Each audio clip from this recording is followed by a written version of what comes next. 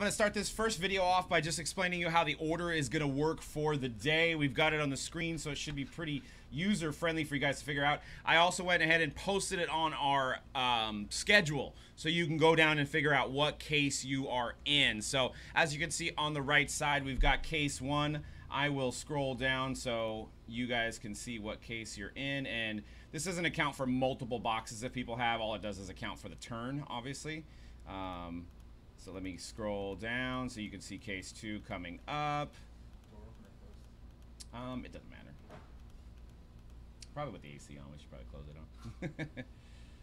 Might get too cold though. Case four, case five, case six, case seven, and case eight. So we're gonna do them one case at a time. We're not gonna random each case. So what we're gonna do is we're gonna open up the case.